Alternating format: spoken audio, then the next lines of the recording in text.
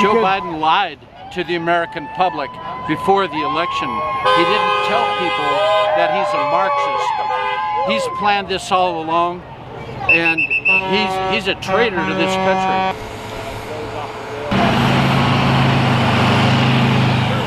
The turnout is absolutely amazing.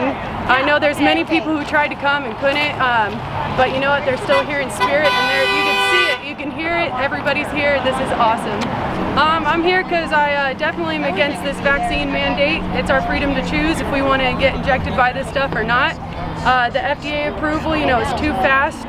Uh, it, it's just not. It's not ethical to make everybody get this vaccine or lose their jobs. What is this going to do to America? You